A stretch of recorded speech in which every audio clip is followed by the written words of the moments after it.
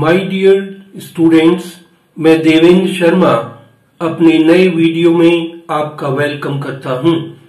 पिछले वीडियो में आपने चैप्टर नाइन का पॉइंट नंबर थर्टी तक की जानकारी ली थी आज हम आपको दे रहे हैं चैप्टर नाइन का pointy point thirty one please open your book and page number forty seven point number thirty one यहाँ लिखा हुआ है एस डब्ल्यू सर्किल लेकिन फिर मैं आपको बता रहा हूँ फोनेटिक एस डब्ल्यू का मीनिंग क्या हुआ? एस की हाफ़ साउंड है तो ये हो गया स्व. ब्रैकेट में लिखा हुआ है स्वे. ये स्वे नहीं है एस डब्ल्यू भी नहीं है. आधा सा और वा. फोनेटिक बोलेंगे तो इसकी साउंड आएगी स्वा। जब ए पॉइंट में देखिए लिखा है a large initial circle represents S W swa. इसका नाम रख दिया स्वे। The S W swa circle is written in the same direction as the S circle जो एस सर्किल का डायरेक्शन है एंटी क्लॉकवाइज वो भी ऐसे ही है मतलब एंटी क्लॉकवाइज जैसे आपने सर्किल बनाया और लिखा ये स और प सप या आपने लूप बनाया स, सट पा, सट प, और अगर लास्ट सर्किल बनाया तो स्वप स्वप, आधा सा व और पा की फोनेटिक साउंड आएगी। वॉवल लगाने का वही सिस्टम होगा बिफोर द नेक्स्ट स्ट्रोक जो मैं स्टार्टिंग से आपको बोल रहा हूँ। पहला वर्ड देखिए, क्या लिखा? स्वीप अब थर्ड प्लेस वॉवल है तो स्व लिखा और ये प। स्व के बाद है बिफोर द नेक्स्ट स्ट्रोक तो ये हो गया स्वीप ये स्वीट अगर हम सर्किल लिखें तो देखिए ये है सीप, और ये क्या हुआ? स्वीप। और ये क्या हुआ? स्टीप। तीनों एक ही फैमिली के मानिए आप इसको।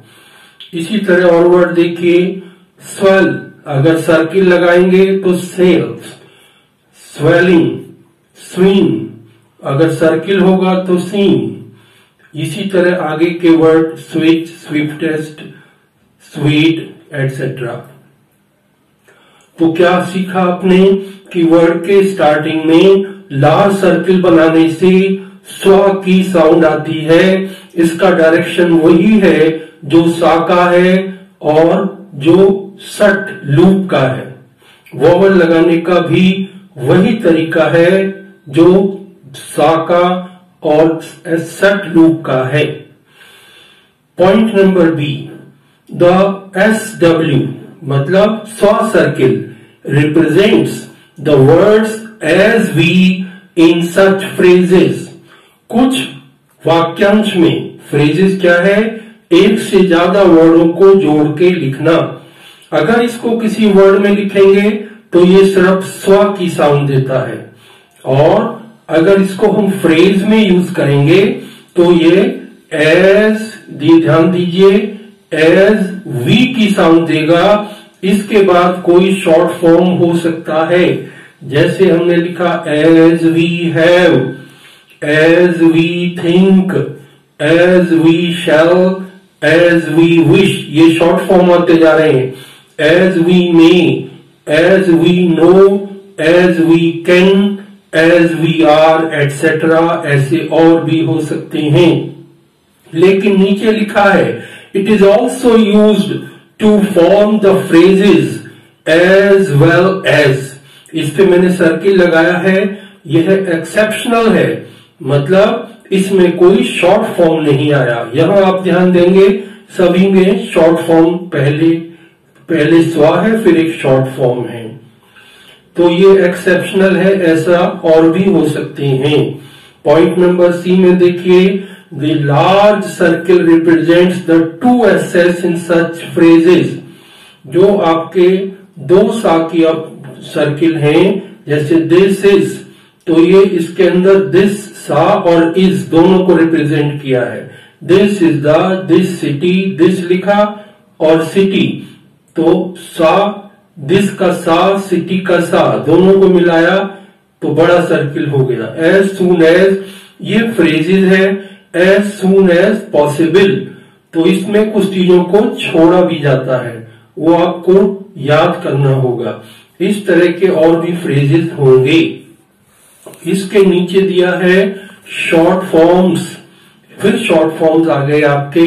United States New York largest और स्पेशल फ्रेजेज है यूनाइटेड स्टेट्स ऑफ़ अमेरिका इसके बाद ये आपकी 35 एक्सरसाइज है। और जैसा मैं आपको पहले भी बता चुका हूँ कि इस पॉइंट से रिलेटेड जो भी एक्सरसाइजेज हैं और टेस्ट पेपर हैं एक्सरसाइज तो बुक में अवेलेबल है।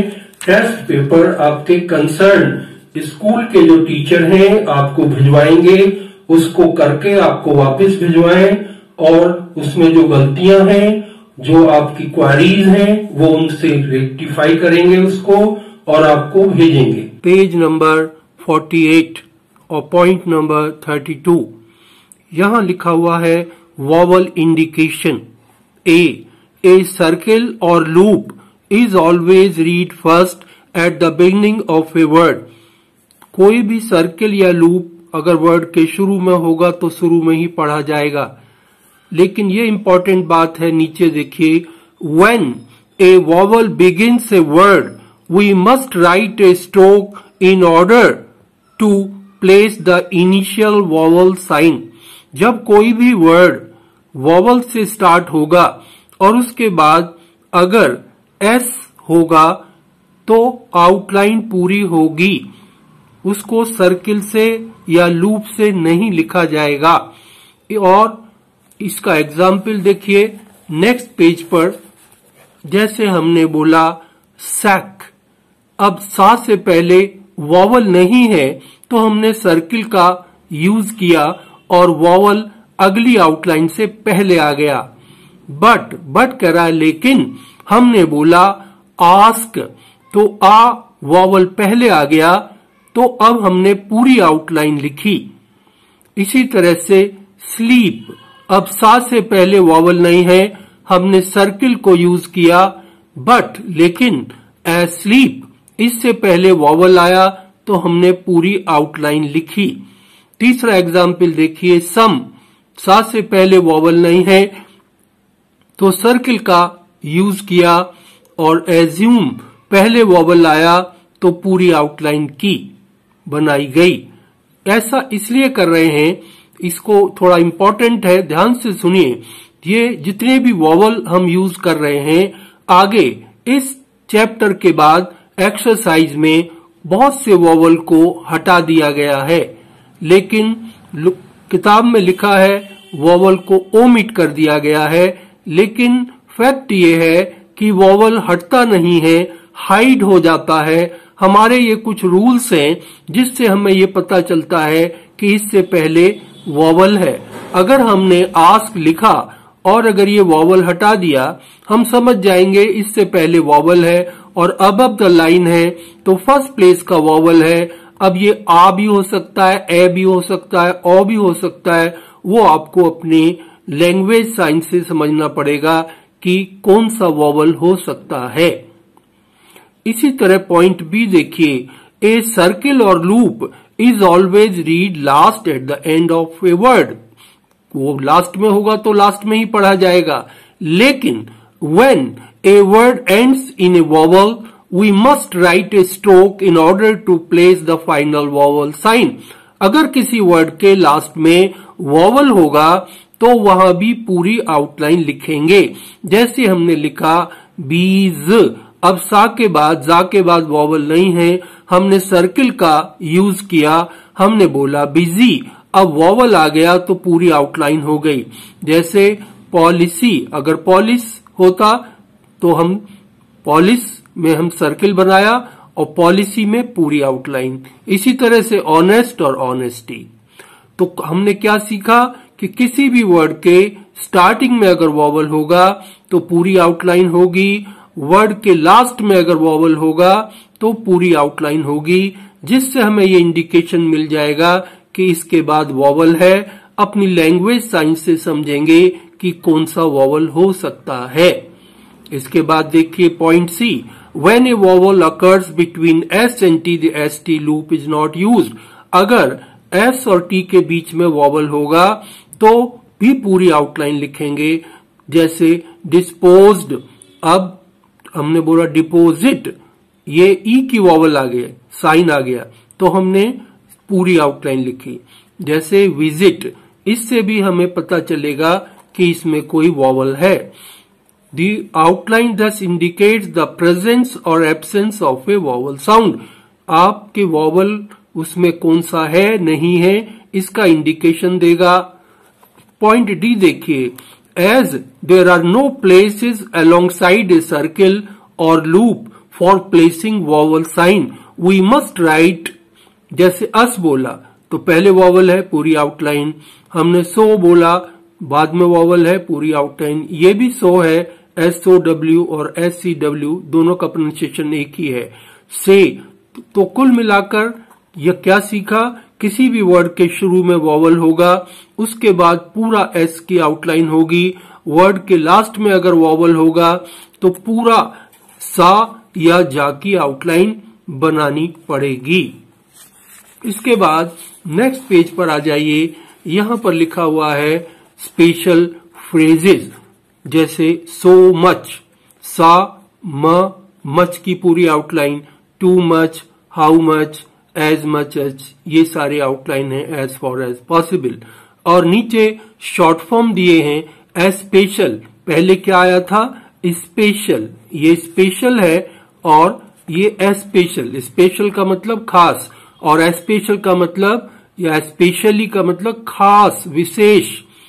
और लैंग्वेज ओइंग ये डार्क है यंग भी डार्क है एनीथिंग नथिंग समथिंग तो इस पूरे पॉइंट में 32 में आपने क्या सीखा? किसी भी वर्ड के शुरू में वॉवल होगा उसके बाद पूरे एस की आउटलाइन बनेगी वर्ड के लास्ट में वॉवल होगा तो उससे पहले पूरी आउटलाइन बनेगी। ये जो इंग्लिश में सारा लिखा है ये भी उसी तरह मैंने हिंदी में आपको बताया वही है। इसको आप पढ़ लीजिए और आपको क्लियर हो जाएगा। इसके बाद एक्सरसाइज 36, 37, 38, 39 काफ़ी काम है आपके पास और ये 41 तक करिए। फिर आपसे कह रहा हूँ, इन एक्सरसाइज को आप इंग्लिश में मत लिखिए शॉर्ट एंड में लिखिए और बोलते रहिए। ये फोर्टी वाली को भी शॉर्ट एंड में लिखिए और बोलते रहिए। और ये आपका नाइन्थ चैप्टर कंप्लीट हुआ और इससे रिलेटेड एक्सरसाइज स्कूल के टीचर्स आपको भेजेंगे टेस्ट पेपर आपको भेजेंगे आपने मेरे इस वीडियो को भी ध्यान से सुना।